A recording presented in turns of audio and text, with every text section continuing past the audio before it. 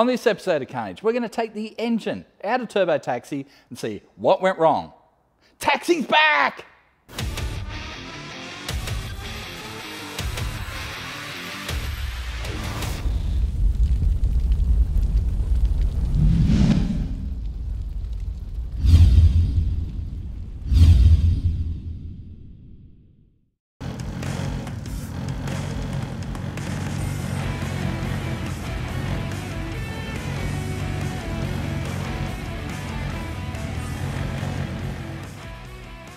So this is Turbo Taxi. For those of you that are unfamiliar, God, there's so much smoke. For those of you that are unfamiliar, this was a genuine Melbourne taxi that we bought with 577,000 Ks on the clock. It has over 600,000 on it right now. And uh, yeah, we've done a few motors in this over the last five years, all right? So I think it's had four or five motors, a couple different gearboxes, a couple different diffs. Uh, never broke a diff, but it did snap an axle. Um, it is basically like Grandpa's axe. It's got, you know, it's got a different engine, different gearbox, different diff, different tail shaft, but it's a genuine Melbourne taxi. That's right. Yeah. So we've been trying to get the best we can out of the uh, the factory Barra Green Top, you know, the LPG special engine and uh, they got better rods in them and that sort of thing. And we've been trying to run a 10 running on LPG. That's liquefied petroleum gas, okay? So not petrol, we are running on propane for you international viewers, all right? Barbecue gas. Yes, and we've been trying to run 10s on barbecue gas for five years. Our best time is 11.0. And running that 11.0, it popped an engine on the line. Then we replaced that engine, took it up to Sydney, melted a piston. Then we replaced that engine, which is that engine, and got it up to 620 rear wheel horsepower on the dyno. It was great, everything was great. And even before we got to the track, piston, well, that's what we think. So what we're gonna do now is pull the engine out and pull the head off, pull it down, see what went wrong. But we're not doing this just for fun we've sent the new engine block off to Dandy Engines. It's getting machined right now. We're putting an engine together. Turbo Taxi's going back together. We're running 10s this year. That's right. Yeah. So before we tear it down, let's talk about the combination. It is a 2010 FG Falcon, right? So genuine taxi, factory LPG, as you can see by the green top, of course, people change engines and that sort of thing, but that is a genuine green top engine, uh, standard rods, standard pistons, crank, everything. Uh, we've upgraded the turbo. It has a GCG 3584 Garrett turbo on it, a 50mm Turbosmart wastegate, Turbosmart blow-off valve, of course, Plasmaman intercooler, uh, Plasmaman airbox, 12 LPG injectors controlled by a Haltech 2500 ECU. It's got a spark booster from Herod Motorsport to make sure that the spark is nice and strong. Uh, it has a BTR four speed in it, all right? So this isn't a six speed car. All the taxis were four speeds. So we've stuck with the four speed. Andrew at Preston's Automatics has strengthened it, strengthened it up. He builds a really tough BTR, so uh, we've gone with that. It has a tail shaft modified by GJ Drivelines. It has an XR8 diff with you know, so instead of the factory taxi diff, we've gone to a 345 XR8 diff.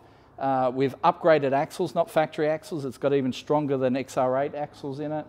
So pretty tough combo. Couple workshops I need to point out. Uh, MPW, without them, this car wouldn't have existed because I basically built it on their spare hoist in their workshop five years ago. All right, so big shout out to those guys. And then, of course, Jason at Tunnel Vision Turbocharging. Jason was responsible for the whole the tuning and the basic setup of the 12 injectors and the computer and all that sort of stuff. So big shout out to both those guys. Um, wow, it has been a long journey getting to this point, I've got to say. But we are sick of breaking standard components. We're trying to run 25 pounds of boost on a standard bottom end and the pistons just aren't copying it anymore. So we've decided to go forged pistons, H-beam rods, good gear, and we're going to build up an engine with dandy engines, put in a taxi, and go out there and run tens. So I think we need to start pulling the bonnet off. Let's do that.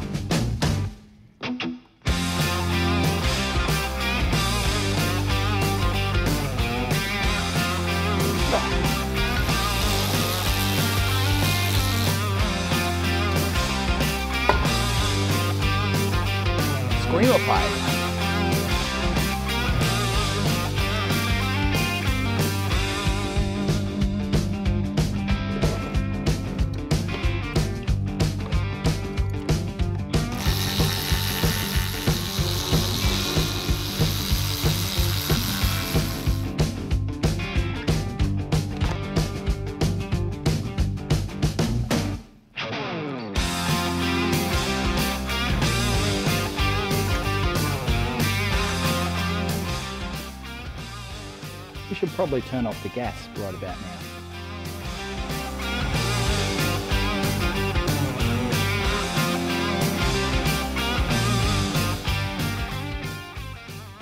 Okay, the gas is off.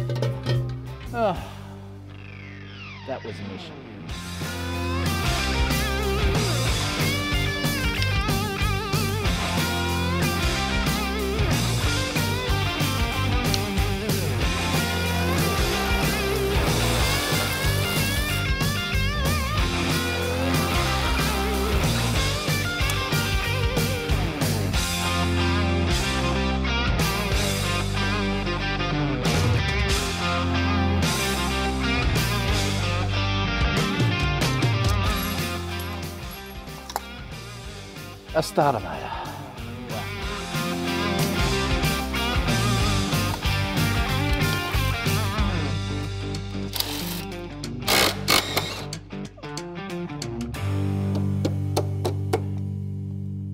Alrighty.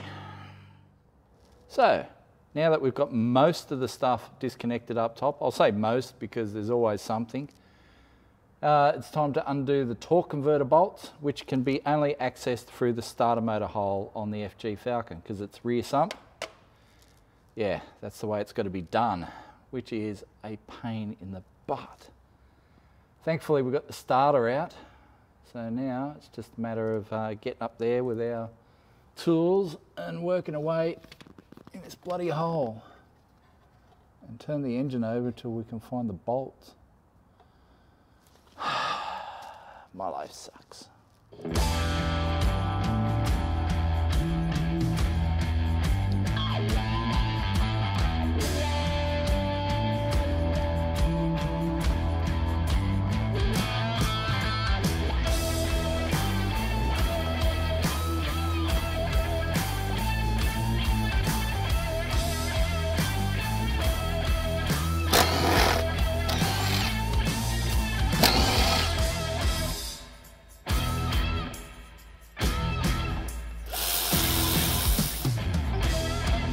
A bolt.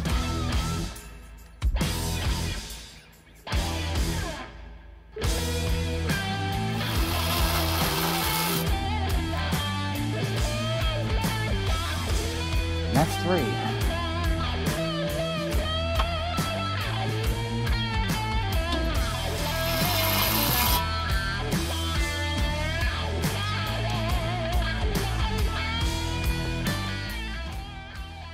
Done.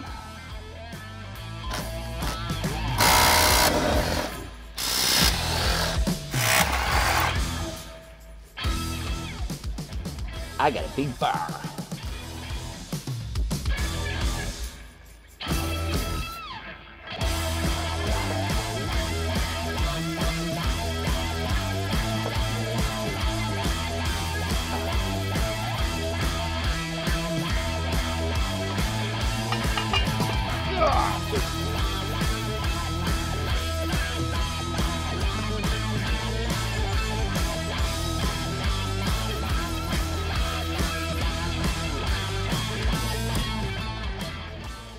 So we're just attaching our engine lifting bracket here. We've had to move the fuel rail because this doesn't work with our LPG fuel rail, mainly because, yeah, reasons. Um, there's an extra fitting there that isn't on the standard setup, so we've had to, um, you know, remove it for service inside the car, but we need it to lift the engine out.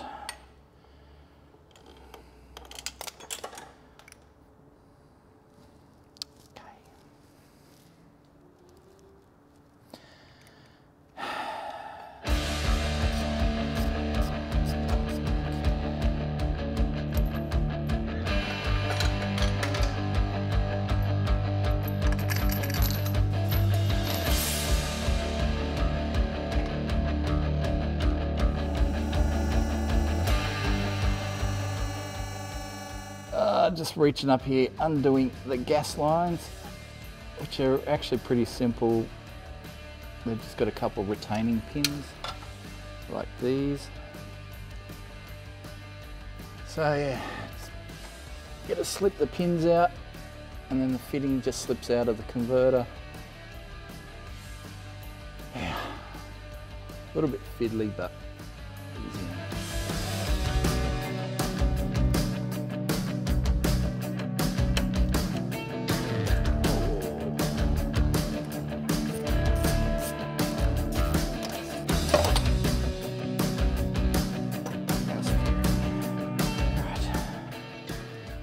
think we have everything undone now. We will find out one way or the other.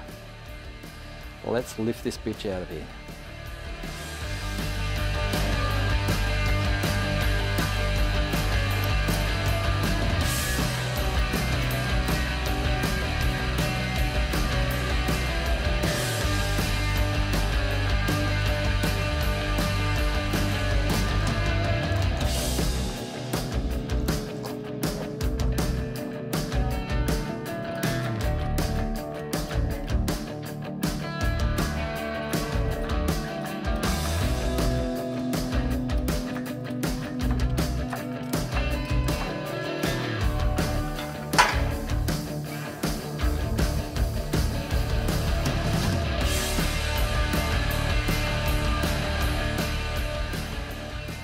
Have it. The barra. The bloody big fish. All right, well, I guess we should start pulling it down and find out what went wrong.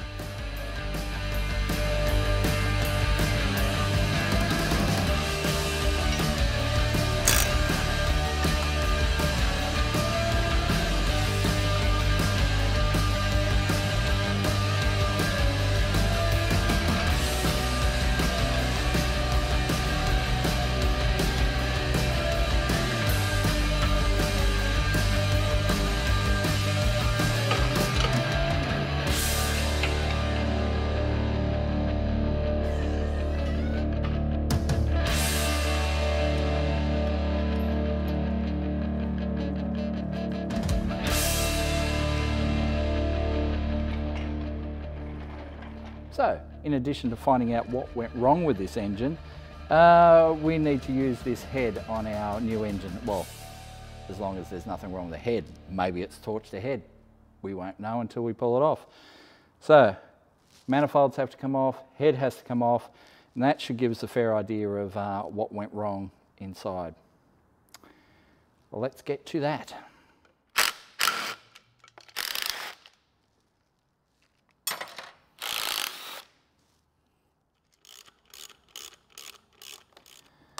So we get a lot of questions about the LPG system in the taxi.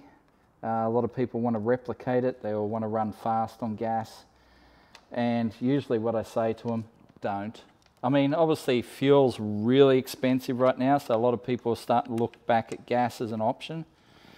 But, well, you look at it this way. 10 years ago, people, well, the government was paying people to put LPG systems on their cars. 10 years ago. Now they're not. Now they're pulling LPG out of service stations. I mean, they are trying to phase out LPG. You know, this is how st stupid it all is. You know, one minute they're paying people to convert, next minute they're pulling the LPG out. So, but, so the system uses 12 injectors, we've got sensors and all sorts of stuff as well. 12 injectors, you know, at 200 bucks a pop, plus a Haltech computer, what's that, three grand you know, plus all the other stuff we need to run this thing. It's got multiple converters, lines, all that stuff. The LPG system and computer, there's like $12,000 right there. So everyone thinks, oh, it's cheap. It ain't cheap. Yeah, it is definitely not cheap. But, you know, we're doing it just basically to see if we could. So far, that would be a no. However, we are that close that we know it's going to happen. Just a matter of us getting it right. It is different though. There's six of the injectors right there. So one of the main problems with uh, doing a high horsepower LPG setup is the injectors just can't flow enough. The highest power injector anyone makes is the Keihin Brown, and they do 100 horsepower per injector. So even if you got, you know, having best flow out of them, everything, you got, you're going to make 600 horsepower at the most at the crank, all right? We need more than that. Um, plus, those injectors are super unreliable. We have killed at least a dozen, you know, like, and at $200 a pop, it adds up um, so we've gone to these Keihin purples. They're a, different style of injector. They're 85 horsepower per injector um, and a lot more reliable than the Keihin browns. The browns, yeah, I wouldn't recommend them to anyone. But these purples seem to work really well. This is our secondary bank here. So they just go in, so inject through these lines into the runner. And then obviously we've got our our main injectors, our main six, run into the normal ports of a, this is an FG turbo petrol manifold.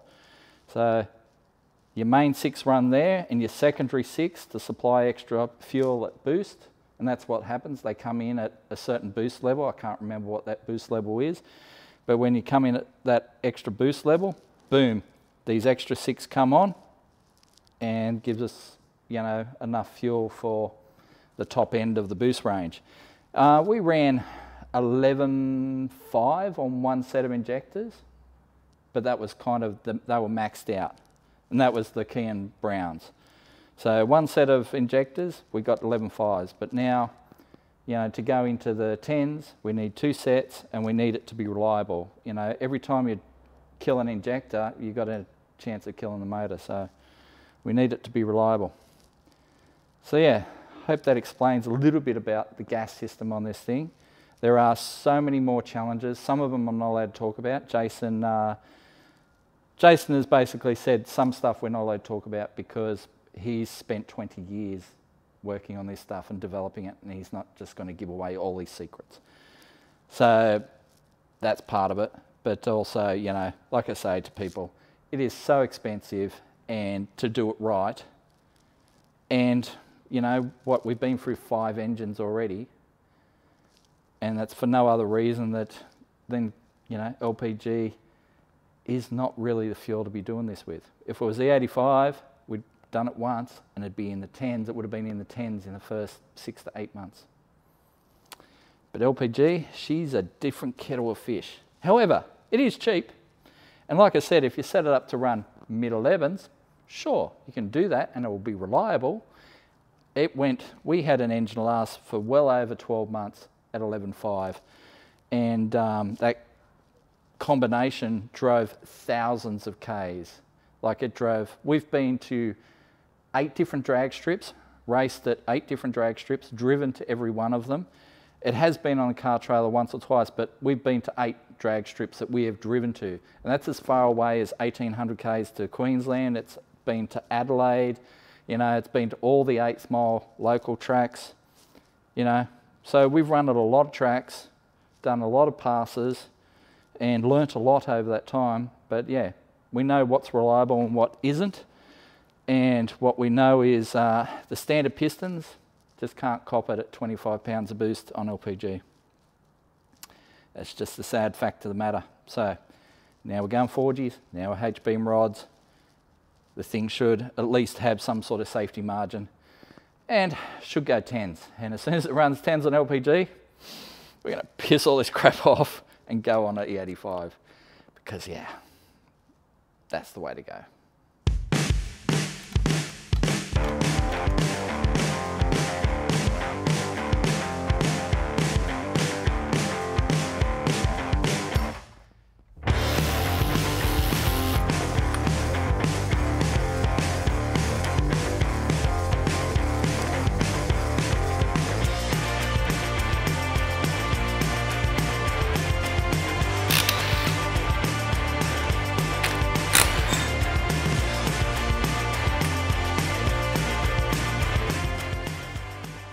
So we've removed the hot and cold sides.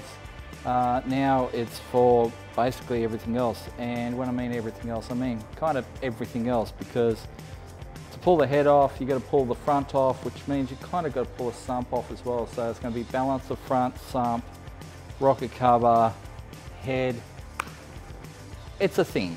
It's definitely going to be a thing. So I reckon that's enough for today. It's beer o'clock. Let's go home. We'll look at this tomorrow.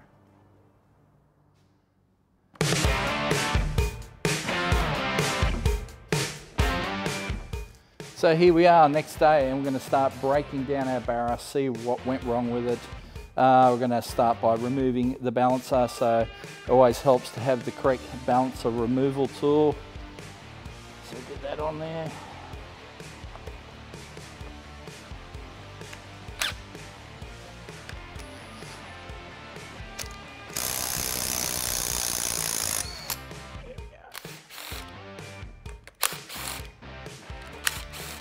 All right, we'll pop our coils out.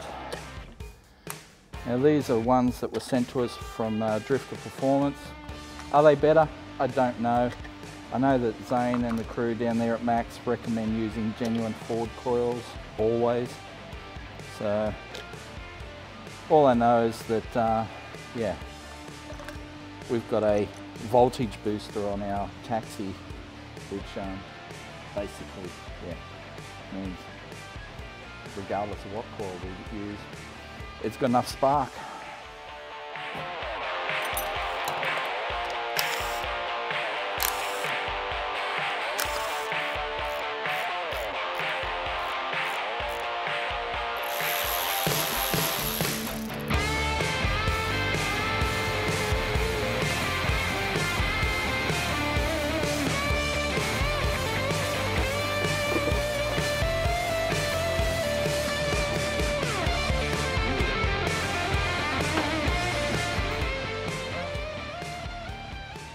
Wow, you can just smell the LPG. It's definitely been uh, feeding some uh, unburnt LPG into the oil system and you can just see the oil is severely degraded.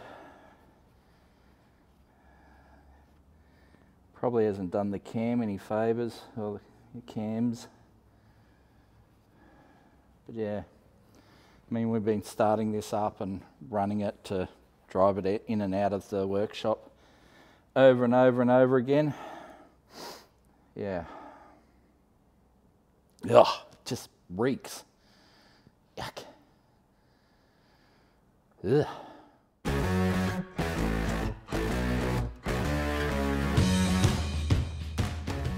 I guess now is as good a time as any to uh, drop the oil.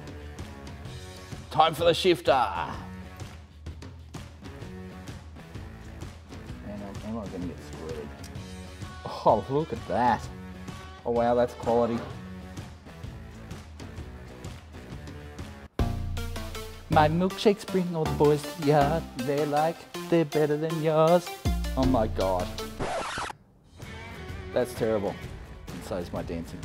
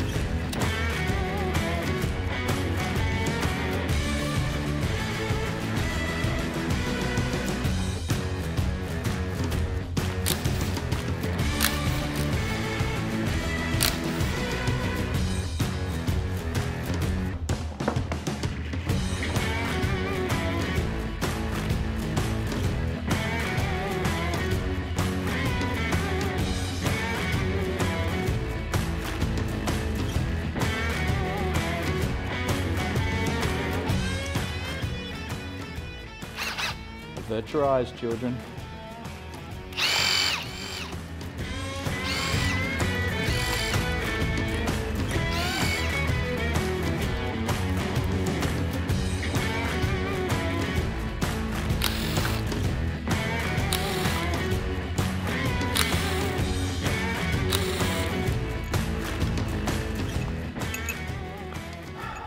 The moment of truth.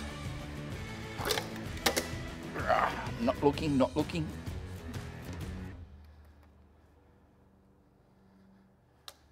Okay, so I can't see any visible damage to the uh, top of the pistons. So it hasn't burnt through from the top like it did on the, uh, the last motor. So yeah, I am pretty confident it'll be a broken ringland on something.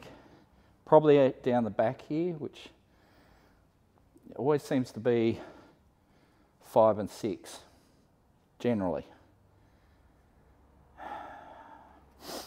Might pull the, turn it upside down, pull the sump off, which we'll have to do anyway if we're pulling rods and pistons out. We'll turn it upside down, pull the sump, and see if we can see anything from underneath. Yeah.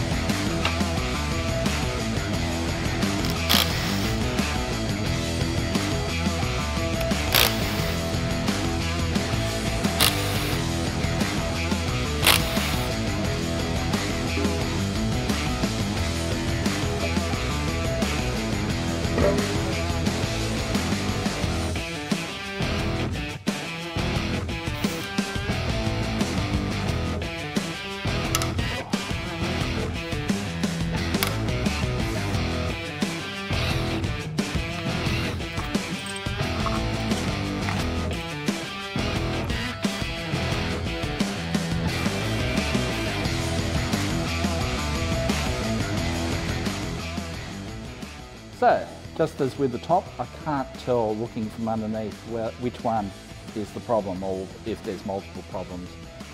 Typically it's five or six, sometimes it's four. Generally it's not towards the front, so I'll start at the back, work my way forward, and we'll start popping some rods and pistons out. See where it went all wrong.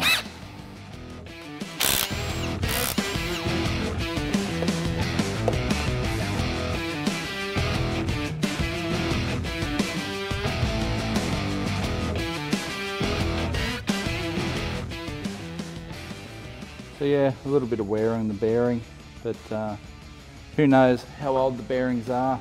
I mean, let's face it, this would have been a stock bottom end. So who knows how old it was.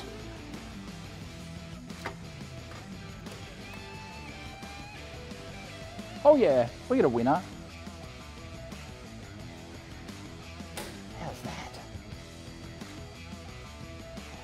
We've got broken rings, certainly smashed the ring lands out of it. But uh, yeah.